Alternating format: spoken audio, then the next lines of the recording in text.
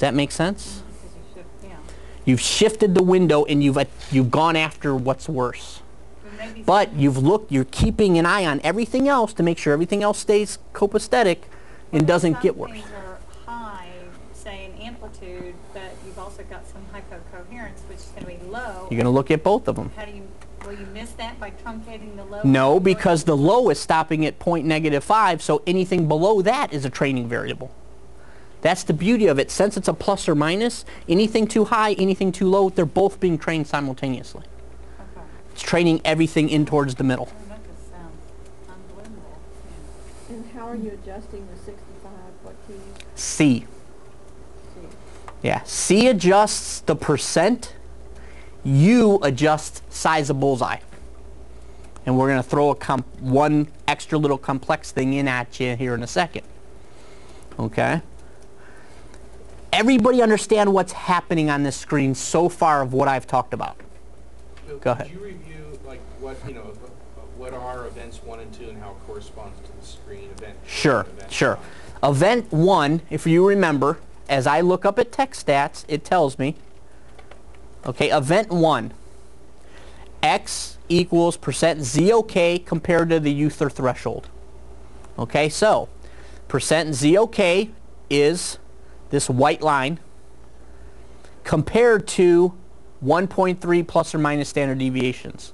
So this white line represents the z-scores that fall in that bullseye. And that's controlled by this, The U key controls the width of the bullseye. Mm-hmm. The C key we haven't got to yet. That's and then it's greater than x equals CT, which is our C key. If you press the U key, what happens? Watch this 1.3. The width of your curve. I've changed the size of the bullseye. Now I'm at plus or minus Made it easy. exactly. I just made it easier. For them to get a reward, right. Right. Hmm? Where is that? Where is what? The bullseye? Right here. Uther? Uther equals target size. Well, I'm pressing it, nothing, it's not, um, which number is it that's changing? Right here. Value A and B. Your session stopped. If your session stopped, it's not, it's not going to work. Okay? Everybody with me so far? Now let's talk about this red number. Okay? There's a red number here because it says events 1-2. Well, event 2 was x equals event 1 percentage. That's percentage of time that event 1 was happy. Does that make sense? So that's telling you the percentage of time that we're meeting criteria for event one. Per- percentage of time that the z-scores that fall within plus or minus 1.4 standard deviations are above the percentage of currently 71. And you see my percentages dropping quickly. That's essentially the reward rate. It is their reward rate, correct. Okay. Everybody following that? So right now, if you were looking at this screen and you see this, this drop off, and what are we doing? We're kind of racing towards the bottom. 18, 17, 17.7, we're kind of bottoming out now. Is that enough feedback? no, So what might I have to do? Got two options. I can increase the size of the target, right? So instead of 1.4 standard deviations, I could make it 1.5 because it's plus or minus and that whoop, target gets bigger. If I'm shooting an arrow, it's easier to hit it. Okay? Or I can change the percentage required to get my feedback. The percentage of z-scores that need to meet it, which is the C. The C key is going to change the percentage.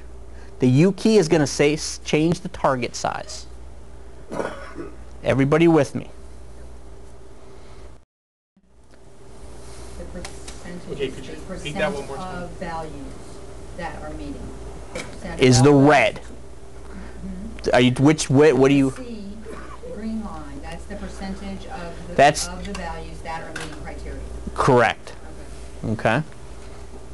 All right. So the C key equals the green line equals the, uh, That's the percent. That's the percent, That's your Not goal. That's your goal. Percent, Your goal you- volumes that you the set. and, and that's, and that's reflected in the, the standard deviation. No, the standard deviation is the U key. That's our target size. And then, just as a refresher, what does the white line represent? All the Zs. That, That are. Where they're at. Well, it's percentage all of of them. them. it's not all the Z's. The percentage of them that are within the one point four window. Ah, exactly. Is it? Yes. It's percent ZOK compared to uther, user threshold, which is the target size. Okay? So the, the red line and the one point four are in direct correlation with each other. They're correlating this way. The red line is telling you the percentage of time that we're meeting criteria. The orange line, or the 1.4, is saying the size of the target. So those do When you change correlate, but the target, it changes the. Yes. If you change the size of the target or the percentage, the green or the C key, both of those affect that red line. And where do you want to see that red line typically? You know, like with the auto threshold and the other. From what I've heard, and people's opinions vary, but I hear between 40 and 70. Between forty and seventy. We go between thirty and sixty. Or 30 and 60. There you go. See, it, it depends. So, which would be between thirty and sixty percent of the time, all the Z scores In a are. normal situation, you get a child with like two point five, maybe two point eight on the root Z score report. Yeah. We'll start at one point four and seven, One point four and seven. and then try to keep their reward between thirty and sixty. If it goes to sixty, then we'll take it to one point three. Which goes, it drops down below, then we might drop the red, green line down. So you're saying between thirty and sixty percent of the time, they're meeting that criteria and you're gonna give them a ding? The or- red line, Right. what, how much they're getting rewarded. Right. Yes, we, short between Okay. Thirty and six. Thirty gets, they, they're, there's, it's not enough Uh-huh, reward, so you need to change one of the two parameters, and sixty is a lot, yeah, um, and so you make it harder. okay. And I think most people will tell you the target they really like to see is between that 40 and 50 range. Okay. Okay? Now, that's enough of that program. Stop. Okay, you've gotten introduced to it. Now let's look at the real one. If tracing was missed in there, If what tracing was missed. uh, raw signal, I mean, the, yeah, the Z-score signal, how do you bring that into focus? Well, we were starting to get it I at the bottom there. Right, it's at the bottom near the zero. You probably have either your thing is too tight so none of them can f- t- Right. But he's trying to adjust the, the user threshold. He's hitting you. but maybe you have to go shift you. Are you too far to one direction? What's the number say?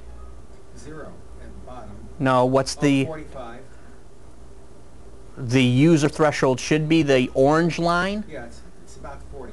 Well, 40 standard deviations plus or minus is a little brutal. Okay, that's what that is, that's standard deviations. Got Okay. Let me pause for one second.